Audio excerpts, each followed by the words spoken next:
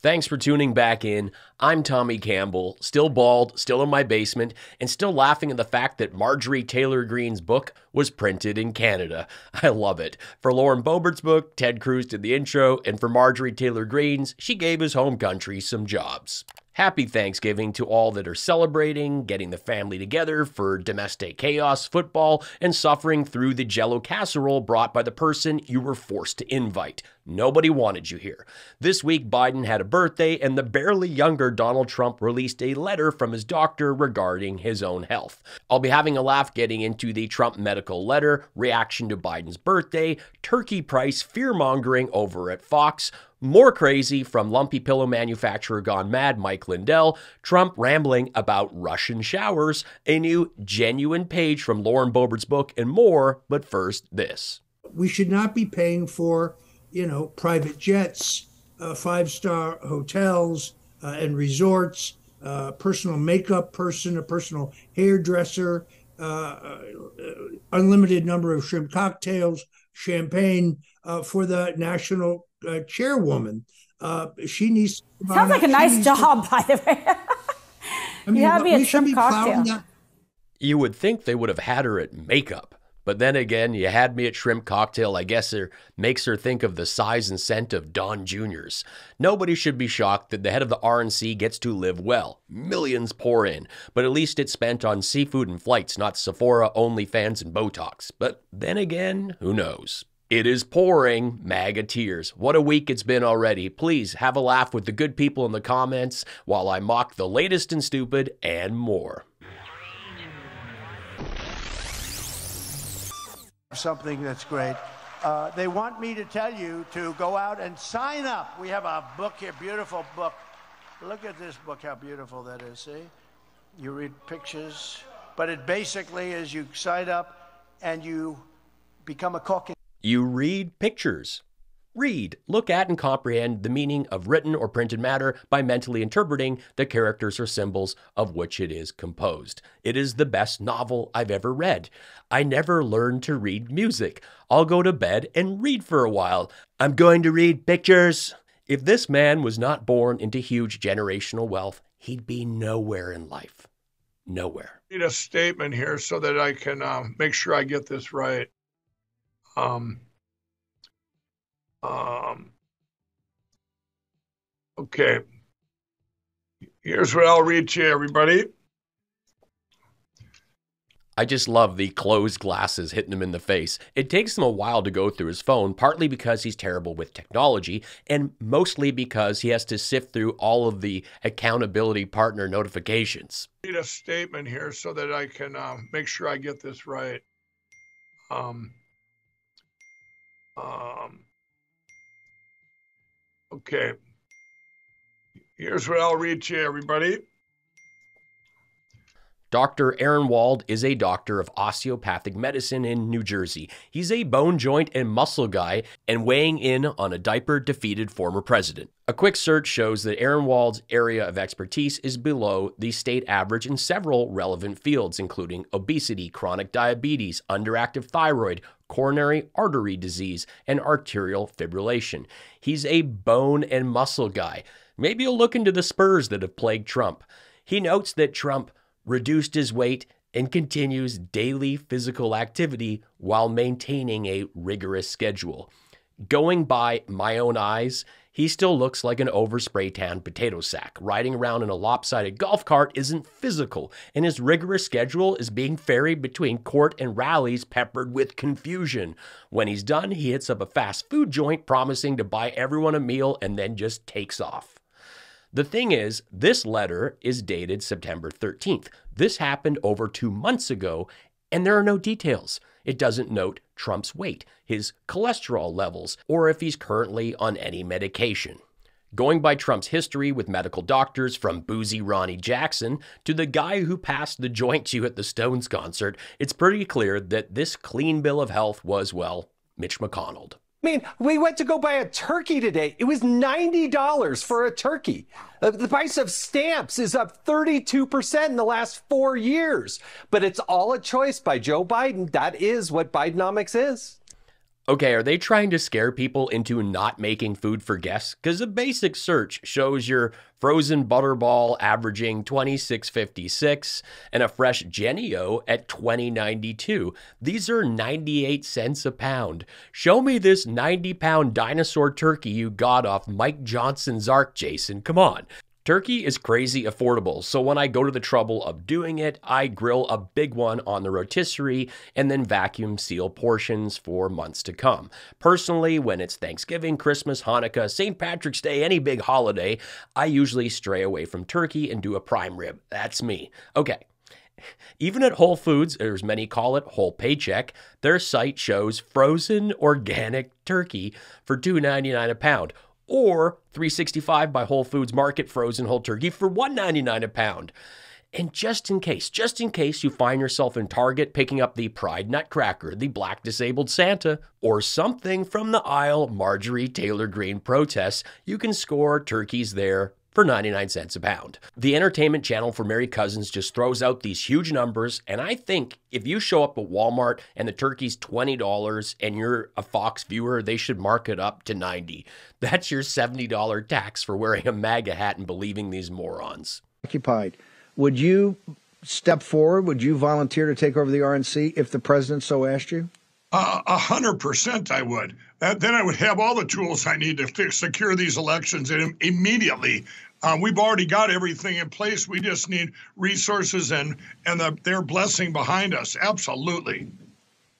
Mike Lindell. Lindell pays a big chunk of Bannon's salary, and even he cannot keep it together when Lindell says he'll take the RNC job. Just look at him. Look at that face. For those that don't remember, Mike ran for RNC chair and lost spectacularly. He managed to get four votes out of 167 because they knew that the guy who turned his business into a money burn pit would not be the top choice for promoting their brand. Thank you. I see every tip from pennies to dollars. They are hugely appreciated and help make this show possible. If you love what I do here and you can afford to help out, throw me a buck with the PayPal link in the pinned comment or drop me a super thanks with this button. And please take two seconds after this video to follow me on Facebook and Instagram. These things are free and help the show grow. Thank you. Can we get rid of these teleprompters? I, you know, we, we have a president. We don't even know who the president is who's ever loading the teleprompter. No, I don't think we need that in Florida. Let's get those done. You got to speak from the heart. It's not about reading off a teleprompter. We are the freest state in all of these United States. Yeah, speak from the heart looks down at his script.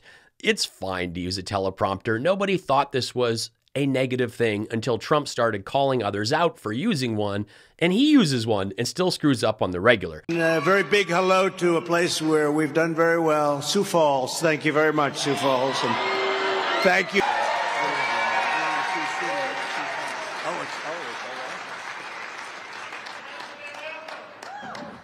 So, Sioux City, let me ask you. Oh, it's Sioux City, okay. Yes, we loaded that on the teleprompter, Mr. Trump, but you're a moron. And the times he doesn't use one, it's because he's saying the same things he's said for years. So I think he's got that down quite well. Report, Sandra, when you got 81 candles on the birthday cake, I'm not sure if it's just so hard to blow them out or, you know, that could contribute to global warming. Either of those things. Well, I think you need a blowtorch to light that many. My son turned six recently, and you gotta move fast because that wax drips at Giuliani hair dye speed. But when it's Trump's birthday, the Botox rejects on Fox aren't counting candles. They're talking about what a great party he threw and how good he looks. He was with four hookers. You think that was good that night to go up and tell my wife, It's not true, darling. I love you very much? It's not true. Actually, that one she didn't believe because she said he's a germaphobe. He's not into that, you know? He's not into golden showers, as they say they call that. He's not. I don't like that idea. No, I didn't. I thought that would be a big problem. I was going to have a rough night, but that one she was very good on. She said, no. The more Trump says it's not true, the more it is true, okay? Let's just check the notes here. A proper germaphobe wouldn't have been a vehement anti masker. I think Paul McCartney should re record Golden Slumbers to mock Trump. This guy lied about Stormy and who knows how many other affairs, but this story was too far fetched for her? Go on, Trump, keep saying golden showers. It's hilarious. For those new to the show, I'm glad you found me. Thank you. For a year, I've been reading a genuine page from Lauren Boebert's book. This really is a ton of fun. I only do it once a week, and it's been pretty wild. Let's get back to it. I knew it wasn't enough cash for that Groupon unlicensed dentist I'd bookmarked, but it was a start to sorting out Lauren's old corncob facehole. I managed to lure Jason out of Lady Buns with the promise of some holiday fun, seeing as he'd busted out the mistletoe belt buckle long ago. I figured Tyler could look after the boys a little longer while I got the elf costume out of the attic for some eggnogging. The snow was over my clear heels as we stumbled to the truck, and it hit me that I was feeling a bit off from the whiskey, beer, and that random pill from the floor that made the walls breathe. Jason did not want me getting sick in the same F 150 where our son was made and born. I agreed that hurling Funyuns and beer on the seats would taint the legacy of our wholesome family. It was darn cold out, but Jason insisted it would be best for me to ride in the back of the truck. I agreed dog style was the safest position, so I was all for it on the condition that Mountain Dew join him up front. If there ever a time that I truly needed my emotional support hamster, it was in the snowbed on that chilly Colorado night. But I tossed him to Jason, who kindly took the tall boy of Coors out of the cup holder to make a safe space for his furry co pilot. I laid back in the snow and looked up at the stars in the sky. I'm not interested in astrology. I just need to find a bright one to focus on because, on top of the boozing bed spins I was having, Jason was doing some serious donuts in the parking lot. This is one of the things that he loves to do. I don't think he's ever dropped our kids off at school in the winter without a few 360s while he lays on the horn and shouts out the window, They're your problem till four o'clock!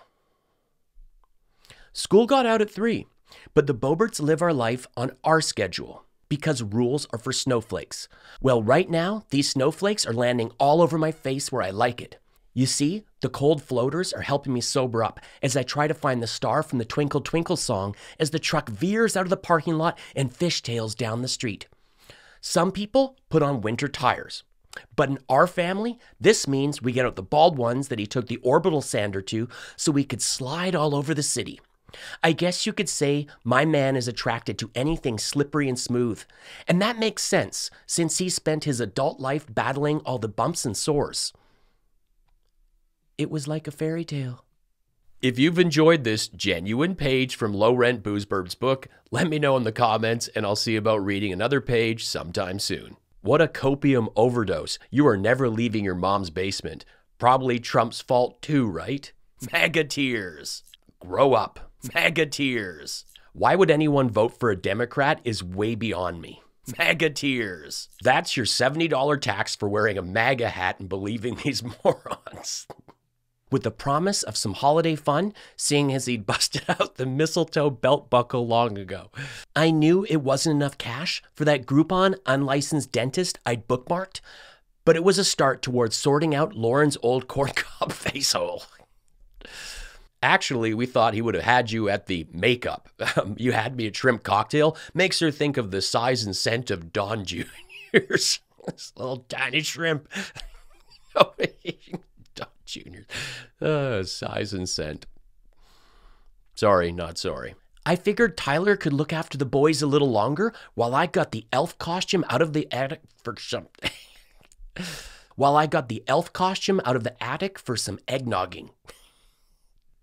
I don't think he's ever dropped our kids off at school in the winter without a few 360s while he lays on the shorn and sh- shorn I think Paul McCartney should re record Golden Slumbers just to mock Trump. Well, right now, these snowflakes are landing all over my face where I like it. Thanks so much for watching. Help me out by joining us in the comments, sharing this video with a friend, and following me on social media. I am a one man show here from script to screen, the editing, even the graphics please throw me a tip with the easy PayPal link or hit that super thanks button and be sure to check out my mugs that go great with those MAGA tears. I am a stand up comedian. I've played in 35 countries and I've toured with Jim Jefferies for nearly 10 years. I have three albums and a brand new EP from my opening set on Jim's latest Netflix special. You can stream these on Spotify, Apple Music, or catch them on SiriusXM. Thanks for helping me make this show possible. Life's short. Be cool, be kind, take care.